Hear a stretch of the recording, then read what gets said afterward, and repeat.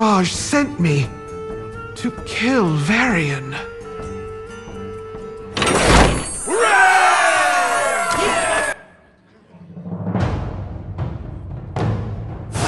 I've gone against enough opponents to know better than take